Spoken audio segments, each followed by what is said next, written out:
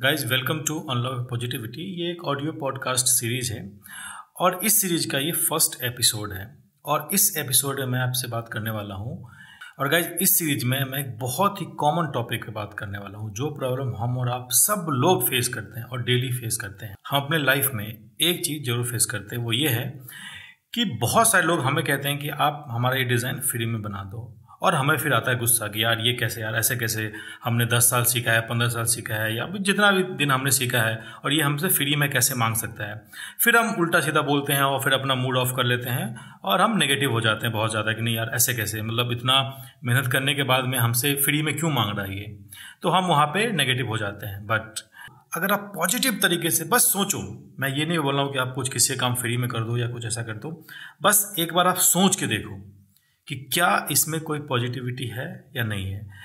मेरे साथ भी सेम टू सेम ऐसा ही हुआ था। अराउंड 2011 या फिर 12 का टाइम होगा। नहीं 11 बारह नहीं अराउंड 2014 या 15 का टाइम था। मैंने सोचा, यार, अब बहुत हो गया। अब जॉब अब नहीं करनी, अब कुछ अपना स्टार्ट करते हैं। मैंने सोचा, जब मेरे दम पे ये पूरी कंपनी चला रहे हैं, सिर्फ़ मेरे क्रिएटिविटी के दम पे ये सारे क्लाइंट ला रहे हैं और पूरी पूरी कंपनी चल रही है तो मैं क्या अपने दम पे, मैं अपना घर नहीं चला पाऊँगा? ऑफकोर्स चला पाऊँगा। तो मैंने सोचा कि यार अब जॉब अब नहीं करना, अब फ्रीलांसिंग स्टार्ट करना है और घर बैठ के अपना काम करना है, ठीक? बट ये तो सुनने में बहुत अच्छा लगता है कि यार चलो हाँ घर बैठ के काम करेंगे और पैसा ही पैसा होगा। दस क्लाइंटें मिल गए, तब भी हम अच्छा खासा पैसा कमा लेंगे, लेकिन ऐसा नहीं होता।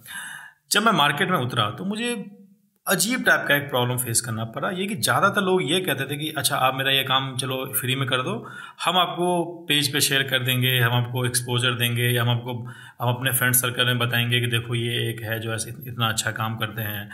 तो मुझे लगा, यार, ये कैसे मतलब मैं इतना अच्छा काम करता हूँ और लोग मुझे फ्री में कैसे कह सकते हैं करने के लिए? मतलब ऐसा कैसे? लोग इतने मतलब या तो लोग बेवकूफ़ है या फिर इतना चालाक है कि ऐसे ना चालाक कैसे हो सकते हैं कि, यार, आप सामने वाले ने इतना मेहनत किया है, आप उसको फ्री में करने के लिए बोल रहे हो। बट फिर मैंने सोचा कि, यार, इस टाइप की प्रॉब्लम सिर्फ़ मैं ही नहीं फेस कर रहा हूँ और भी लोग फेस कर रहे होंगे। तो मैंने थोड़ा सा रिसर्च किया तो इसके बारे में मुझे नहीं मिला। इंटरनेट पे जहाँ भी देखा मैंने, हर जगह यही था। से नो टू फ्री डिज़ाइन ये, वो मतलब फ्री डिज़ाइन को मना करो, हमने इतना टाइम दिया है, आप हमसे कैसे में फ्री में कह सकते हो? तो इस टाइप की चीज़ें मुझे ऊपर ऊपर से इस टाइप की चीज़ें मिली। बट फिर मैं थोड़ा और डीपली रिसर्च किया। तो मैंने एक कोट पढ़ा, है ना? जो लोग कोट लिखते हैं, उसमें एक कोट था कि free is the most expensive मतलब फ्री की जो चीज़ें होती है, वो एक्चुअली सबसे महँगी होती है। तो ये मैंने सोचा, यार किसी ने बोला होगा तो इसने मतलब ऐसा कैसे बोल कि फ्री कैसे एक्सपेंसिव हो सकता है? तो मैंने थोड़ा और थोड़ा और इस पर रिसर्च किया तो पता चला इसके ऊपर बुक्स भी आई है आर्टिकल्स है, बहुत सारे आर्टिकल्स हैं। अभी भी आप अगर गूगल पर सर्च करोगे, आपको बहुत सारी चीज़ें आपको मिलेगी। बट इससे ग्राफिक डिज़ाइनिंग से कोई कनेक्शन नहीं है। फिर मैंने सोचा क्यों ना इसको अपने करियर में अप्लाई किया जाए, ठीक है? और मैंने उसी चीज़ को पॉजिटिव तरीके से सोचना शुरू किया। और ये एक्चुअली मेरी लाइफ बदल गई। आज मेरे पास जितने भी क्लाइंट हैं जितने भी अच्छे क्लाइंट हैं, जो मुझे बहुत ज़्यादा पैसे पे करते हैं, इसी की टेक्निक पे लाया हुआ क्लाइंट है। अब मैं बताता हूँ कि ये टेक्निक होता क्या है और ये आपको इसमें कैसे वर्क करना है। आपके पास सिर्फ़ दो टाइप के लोग आपको फ्री में काम करने के लिए बोलेंगे। फ़र्स्ट जो अपने आप को बहुत ज़्यादा ओवर स्मार्ट समझते हैं। सेकेंड इसको सही में आपकी ज़रूरत है। सही में आपसे वो हेल्प चाहते हैं बट उसके पास उतना बजट नहीं है है ना? ये दो टाइप के लोग होते हैं। तो हम फ़र्स्ट वाले से शुरुआत करते हैं जो कि बहुत ज़्यादा ओवर स्मार्ट होते हैं। आप चाहते हैं कि यार हर काम फ्री में कर लो, आपको उसको फ़िक्र ही नहीं है। कि आप क्या आप क्या हो, कितने दिन आपने काम किया, आपको, उसको कोई भी फ़र्क नहीं पड़ता कि आपने कितना मेहनत किया है और आपका डिज़ाइन कितना अच्छा है, उसको कोई फ़र्क नहीं पड़ता। ऐसा आपको लगेगा। बट उसने आपका डिज़ाइन देखा है, उसने आपका काम देखा है, तभी आपको उसने कांटेक्ट किया है। अब आप उसके पर्सपेक्टिव से सोचना स्टार्ट करो और इसके अंदर पॉजिटिव तरीके से देखना स्टार्ट करो। मैं ये नहीं बोल रहा हूँ कि आप ये टेक्निक को फॉलो करो। मैं ये टेक्निक फॉलो करता हूँ और मैं अपना एक्सपीरियंस आपको बता रहा हूँ। ये कैसा होता है? अगर आपको लगे कि हाँ ये कोई सेंस बन रहा है तो आप फॉलो करो, नहीं तो कोई नहीं यार, आप गाली लिखने के लिए पूरा दिन पड़ा हुआ। आप दिन भर गाली लिखते रहो। जो भी आपको फ्री में डिज़ाइन मांगे, उसको दबा के गाली दो। कोई फ़र्क नहीं पड़ता। लेकिन मैं बात कर रहा हूँ यहाँ पे उसको पॉजिटिव में लेने की। ठीक? अब जस्ट आप इमेजिन करो।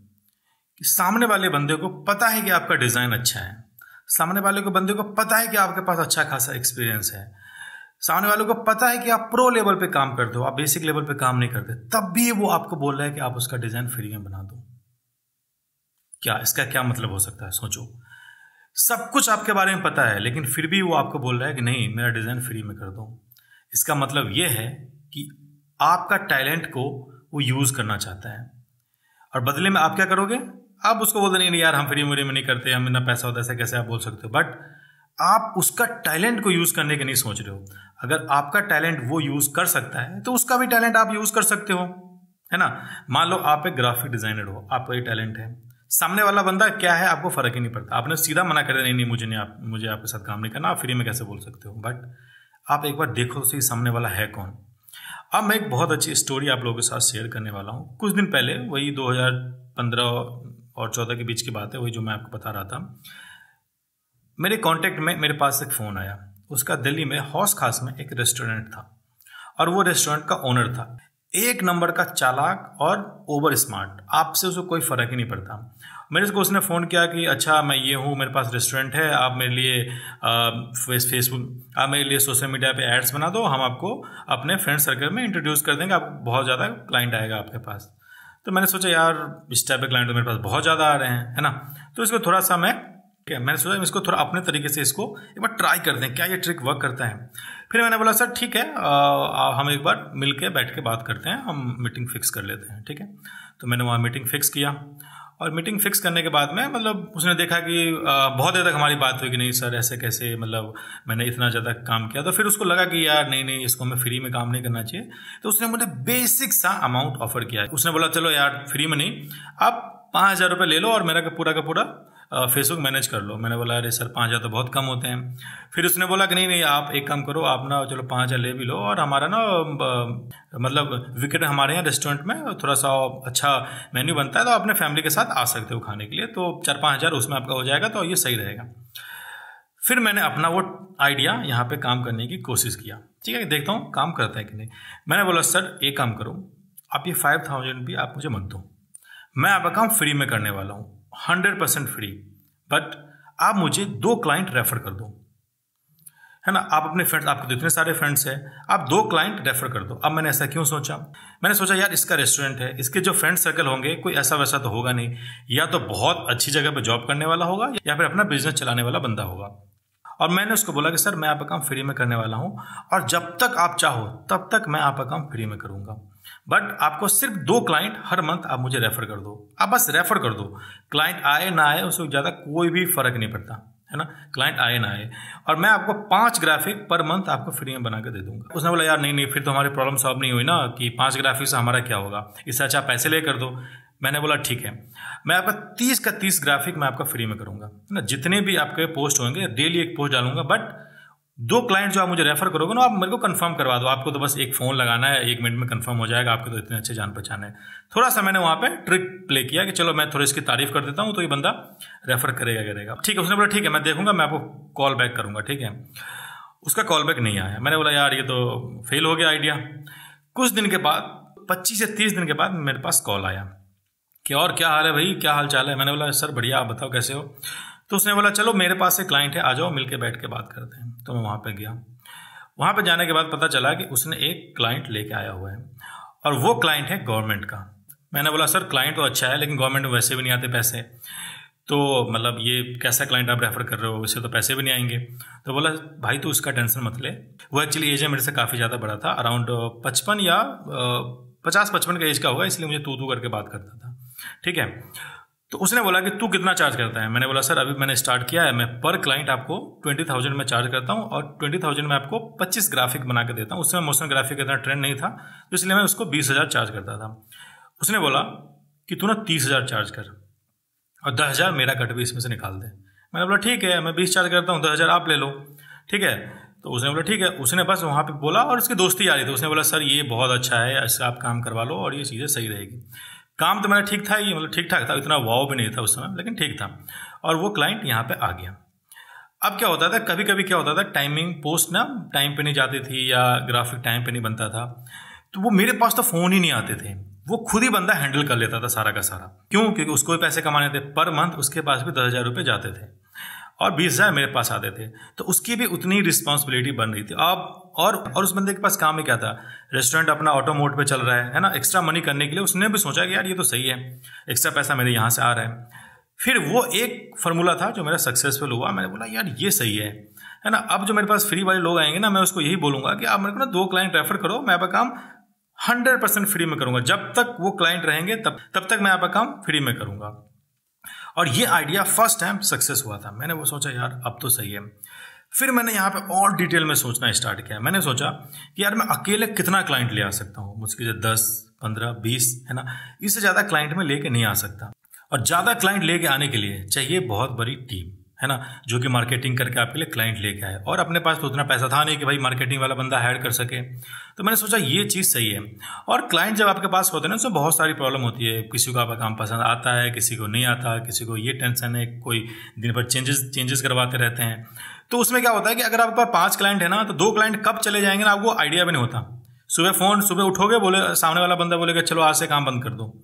तो वो दो क्लाइंट का ना मतलब हमेशा ना मतलब लगा ही रहता है कि भाई कब चला जाए, कोई ठीक नहीं है। इसीलिए आपके पास एक्स्ट्रा क्लाइंट होनी चाहिए। और ये फार्मूला मेरा काम कर रहा था। फिर क्या होगा, हमारी उसकी ट्यूनिंग ना जमने लगी। उसने सोचा, यार, ये सही बिज़नेस है। मेरे एक कहने पे क्लाइंट आ गया और हम लोग इसको छः महीने तक चला भी लिए। तो क्यों ना हम थोड़ा और और स्टार्ट करें, ठीक है? और क्लाइंट को पिच करना स्टार्ट करें। फिर वो बंदा मेरे लिए मार्केटिंग करना शुरू कर दिया। सोच रहे हो, कहाँ से कहाँ पहुँच गया? जो फ्री वाला जो वो था ना लॉलीपॉप वो फ्री का नहीं था। अब वो बंदा मेरे लिए इनडायरेक्टली मेरे लिए जॉब कर रहा है। और बदले मैं कुछ कुछ भी नहीं दे रहा हूँ। जितना मेरा चार्ज था ना, मैं उतना चार्ज कर ही रहा हूँ। जो एक्स्ट्रा है, वो वहाँ पे वो ले रहे हैं। ठीक है, अब मार्केटिंग वो मेरे लिए कर रहे हैं। मेरे लिए वो मार्केटिंग कर रहे हैं, मेरे लिए वो अकाउंट मैनेजर का काम कर रहे हैं। कल वो क्लाइंट को कुछ भी प्रॉब्लम आती है, वो फेस करता है। पैसे फंस गए, पैसे नहीं आ रहे, वो जाके पैसे लेके आता है। क्यों? क्योंकि पैसे उसे भी चाहिए, पैसे मुझे भी चाहिए। और मैं, और उस, वहाँ से पैसे नहीं आए तो इसका भी काम बंद हो जाएगा। तो इसीलिए वो, मेरा काम वो करते थे सारा का सारा। मैंने सोचा, यार, ये सही है। फिर ऐसे कर मैंने चार या पाँच लोगों से और कांटेक्ट बनाए अच्छे अच्छे लोगों से। और मैंने उसको फ्री में काम करके देना स्टार्ट किया, है ना? अब गई सिचुएशन ऐसा आ गया कि मेरे पास क्लाइंट तो आ रहे थे क्लाइंट बहुत ज़्यादा आ रहे थे, लेकिन काम बहुत ज़्यादा हो रहा था कि दो फ्री वाले क्लाइंट अलग से और और पाँच सात पेड वाले क्लाइंट अलग से सबका काम करना पड़ता था और सबका काम हो नहीं पा रहा था। फिर मैंने क्या किया ग्राफिक डिज़ाइनर को अपने टीम में ऐड करना स्टार्ट किया। आज भी मेरे साथ पाँच या छः लोग ऐसे काम करते हैं जो कि बहुत अच्छा काम करते हैं और सारा का सारा काम टाइम पे डिलीवर भी करते हैं। वही लोग अभी तक मेरे साथ जुड़े हुए हैं, उस टाइम से अभी तक जुड़े हुए हैं। अब क्या था कि अब मैंने जो भी फ्री वाले क्लाइंट थे, वो मैंने इन लोगों को देना स्टार्ट कर दिया कि भाई तुम इस पर काम करो, मैं उसको पे करता था। क्यों? क्योंकि मेरे पास पैसे आ रहे थे। अब अब ये बिज़नेस मॉडल बनता हुआ जा रहा था कि चलो अब बिज़नेस मॉडल बन रहा है, ठीक हो रहा है। इससे, इसके बाद और भी प्रॉब्लम आई, फिर मुझे वीडियो में भी आना पड़ा फ़ोटो में भी आना पड़ा, और उसके बारे में भी हम कभी बात करेंगे। लेकिन ये मॉडल सक्सेस हो रहा था। ये ये था फ़र्स्ट टाइप का क्लाइंट जो कि बहुत ओवर स्मार्ट होता है, लेकिन आपसे फ्री में काम करवाना चाहता है। अब आती है दूसरे टाइप के क्लाइंट के बारे में, जो सही में उसके पास अच्छा आइडिया लेकिन उसके पास पैसे नहीं है। तो आप सोचो कि यार मेरा बिज़नेस भी सही चल रहा है, पैसे की भी कोई दिक्कत नहीं है तो मैं इसका फ्री में काम क्यों करूँ? लेकिन नहीं। आप जस्ट इमेजिन करके देखो, कौन सा आइडिया कब हिट कर जाए ना, कोई कह ही नहीं सकता। कोई भी नहीं बता सकता। और आपसे अगर अगले बंदों को पता है कि आप प्रो लेवल पे काम करते हो अच्छा काम करते हो, फिर भी आपसे फ्री में करवाने की कोशिश कर रहे हैं तो आप उसके बाद एक बार सुनोगे, उसके पास आइडिया क्या है। आज मैं कुछ ऐसे ब्रांड के साथ काम करता हूँ जो कि वेल नोन है और इंडस्ट्री के लीडर है। और उन लोगों के साथ मैं तब से जुड़ा हूँ जब वो एक सिर्फ़ आइडिया था। जस्ट एक डायरी पर लिखा हुआ एक नाम था बिज़नेस का नाम था। लेकिन आज भी वो मुझे अच्छा काम देते हैं अच्छा खासा काम देते हैं। क्यों? क्योंकि जब आप ग्रो करते हो ना तो सामने वाला भी ग्रो करता है। आज आप ऐसे लोगों के साथ उठते बैठते हो जो आपको पंद्रह बीस हज़ार दे सकते हैं। कल आप ऐसे लोगों के साथ आपका कॉन्टैक्ट होगा जो आपको एक लाख, डेढ़ लाख रुपए पर क्लाइंट आपको दे सकते हैं। और आप जब ग्रो करोगे तो वो भी ग्रो हो रहा है साथ साथ में। क्यों? क्योंकि आप उसके पीछे हो। आप उसकी हेल्प कर रहे हो, साथ में वो आपकी हेल्प करेगा ही करेगा और हंड्रेड परसेंट करेगा। अब अब मेरी लाइफ में ऐसा सिचुएशन आ गया, ऐसा टाइम आ गया है कि मेरे पास सिर्फ़ ग्राफिक के काम नहीं आते मेरे पास फोटोग्राफी के काम भी आते हैं, मेरे पास वीडियो के भी काम आते हैं। और सारे के सारे लोग वही है। जिसके लिए मैंने कभी ना कभी फ्री में काम किया था। या कभी ना कभी हमने एक बिज़नेस डील किया था कि नहीं, हमने, हम आपके लिए फ्री में काम करेंगे, आप मेरे लिए ये दे दो। तो आप समझ रहे हो, जो फ्री वर्ड होता है ना, वो फ्री नहीं होता। वो आपसे आपका टैलेंट मांग रहे हैं। बदले में आप उसे उसका टैलेंट मांग लो, यार, कितना सिंपल है, इतना इतना ऑफेंड होने की बात ही नहीं है, इतना नेगेटिव होने की बात ही नहीं है। सिंपल आपको पॉजिटिव वे में सोचना है। कि सामने वाला बंदा आपको यूज़ कर रहा है तो आप उसको यूज़ कर लो। सिंपल। हम लोग तो गए आर्टिस्ट है। आर्टिस्ट को खुद काम भी करना होता है, अपने आप को बेचना भी होता है। उस बेचने के लिए कॉम्प्रोमाइज़ भी करने होते हैं। और कॉम्प्रोमाइज़ मतलब नेगेटिव कॉम्प्रोमाइज़ नहीं पॉजिटिव कॉम्प्रोमाइज़ कॉम्प्रोमाइज़ मतलब ये नहीं कि आप ज़िंदगी भर फ्री में काम करते जाओ, पैसे नहीं मांगो। नहीं। आप पैसे लो बट आप अपना एक आर्मी तैयार करो। एक अपना आर्मी तैयार करो जो आपके लिए मार्केटिंग करे। जब आप घर में बैठ के सो रहे हो ना, तब भी कोई बंदा आपकी तारीफ़ कहीं ना कहीं कर रहा होगा। ये होता है असली गेम। और इस टाइप की जो चीज़ें होती है ना, वो वो क्लाइंट आपके लिए कभी नहीं करेगा जो आपको पैसे दे रहे हैं। जो पैसे दे रहा है, उसका बस इतना ही काम है कि आपसे काम करवा रहा है, आपको पैसे दे रहा है, बस। पर्सनल पर्सनल लेवल पे आप कभी जा ही नहीं पाओगे उसके साथ। क्यों? क्योंकि आपका डील सिंपल है यार। आप, वो आपको पैसे दे रहा है, बदले में आप उसका काम करो सिंपल लेकिन जो आपको पैसे नहीं दे रहा, तब भी आप उसके साथ लगे हो। इसका मतलब और ज़्यादा डिटेल में जाओगे, और ज़्यादा उसको समझोगे, वो आपको समझेगा। और दो टैलेंट जब एक साथ मिलते हैं ना तो वो आग लगा देती है। और ये मेरा पर्सनल एक्सपीरियंस है। और ये मैं ये नहीं बोलूँगा आप उसको फॉलो करो। हर किसी का सिचुएशन अलग हो सकता है। हो सकता है आपको अभी इस समय पैसे की बहुत ज़रूरत है, आप फ्री में काम नहीं कर सकते। लेकिन सोचो, आज से अगर आप छोटे छोटे पौधे लगाना स्टार्ट करोगे ना तो पाँच साल के बाद वही पेड़ बनेंगे। और फिर इतने फल आएँगे ना आपके पास कि आप खा भी नहीं पाओगे। फिर आपको फल को बांटने पड़ेंगे। ये वही छोटे छोटे पौधे हैं जो आपके लिए मार्केटिंग आर्मी का काम करते हैं। आपको हीरो बना के प्रेजेंट करते हैं। क्यों? क्योंकि आपके दम पे वो भी कमा रहे हैं। तो अगर आपकी तारीफ़ वो नहीं करेंगे ना तो उसके पास क्लाइंट नहीं आएगा। और अगर उसके पास क्लाइंट नहीं आएगा तो उसको भी फ़ायदा नहीं होगा। तो इसीलिए थोड़ा डिफरेंट सोचो, थोड़ा पॉजिटिव सोचो। हर चीज़ में नेगेटिव लेना अच्छा नहीं होता। जैसे जैसे आप पॉजिटिव सोचोगे वैसे वैसे चीज़ें एकदम क्लियर होनी शुरू हो जाएगी। तो क्या अगर मैं आपको बोलूँ कि जो इंसान बोलता है कि भाई ये काम फ्री में कर ले वो आपका सबसे अच्छा क्लाइंट है तो आप यकीन नहीं करोगे। लेकिन ऐसा है। अब जो मैंने ये सारी चीज़ें बताई है उससे आपको यकीन हो गया होगा कि, कि आपको एज ए लीडर की तरह सोचना है कि ये नहीं कि यार चलो आज दस हज़ार कमा रहे हैं पंद्रह कमाएँगे परसों चालीस कमाएँगे अपना ज़िंदगी सही चलेगा ऐसा नहीं होता। ऐसा करना भी नहीं है। क्योंकि जब आज दस कमा रहे हो ना तब भी कम पड़ेंगे। कल बीस कमाओगे तो भी कम पड़ेंगे। कल को चालीस कमाओगे ना तो भी कुछ नहीं होगा आपको उससे। और अच्छा अर्न करने के लिए ना गाइस अच्छा आपका जो बैक सपोर्ट है वो अच्छा होना चाहिए। और बैक सपोर्ट मतलब ये नहीं कि फैमिली आपकी फैमिली बहुत अमीर है, बहुत पैसे लगा सकती, ये नहीं। आप अपना मार्केटिंग आर्मी मार्केट में छोड़ रखे हो। अब वो आपके लिए सारा काम कर रहा है। और वो मार्केटिंग आर्मी कैसे बनाते हैं, वो मैं आप, वो मैंने आपको बता दिया। इसके दो तरीके होते हैं। जो बंदा ओवर स्मार्ट है, उसको और स्मार्ट बना दो। कह यार, आप तो आप तो महान हो यार। आप तो एक बार कह दोगे तो क्लाइंट आ जाएगा। उसको और तारीफ़ करके और उसको इतना ऊपर चढ़ा दो। वो उसको उतरने का रास्ता ही नहीं दिखेगा। भाई, मैं उतरूँ कैसे? अब तो मैं चढ़ गया हूँ बहुत। तो इसीलिए, और दूसरा वाला बंदा, अगर आपके पास हेल्प करने आता है तो उसकी चीज़ों को समझो। तो उसकी हेल्प करो। अगर हेल्प नहीं कर सकते तो एटलीस्ट उसका आइडिया सुनोगे उसके बाद आइडिया क्या है। क्या पता आपके हेल्प से उसका आइडिया सक्सेस हो जाए या उसका काम बन जाए। और अगर उसका काम बन गया ना तो आपका काम बनेगा ही बनेगा। आपका काम बनेगा ही बनेगा। ऐसा ऐसा कोई भी इंसान नहीं दुनिया में जो आपके दम पे दस हज़ार कमाए और आपको एक हज़ार ना दे। ऐसा कोई नहीं है। है ना? हर चीज़ में आपको पॉजिटिव तरीके से सोचना है, सामने वाले को सुनना है, समझना है। बस आइडिया नहीं। अगर आप नेगेटिविटी ढूँढने बैठोगे ना, पूरी दुनिया में नेगेटिविटी फैली हुई है। लेकिन अगर आप उसको दूसरे एंगल से देखोगे ना तो वो नेगेटिव चीज़ें ना पॉजिटिव चीज़ें कब बन जाएगी ना, आपको पता भी नहीं चलेगा। ठीक है? तो आई होप ये पॉडकास्ट ये ऑडियो पॉडकास्ट आपको पसंद आया होगा। जल्दी मिलते हैं एक नए एपिसोड में। उस एपिसोड में हम बात करेंगे, जब आप किसी का हेल्प करते हो तो उससे क्या फ़र्क पड़ता है? आपकी ज़िंदगी में, आपकी लाइफ में, आपके इनकम में। क्या फ़र्क पड़ता है, वो हम बात करें, वो हम बात करेंगे नेक्स्ट एपिसोड में। Thank you so much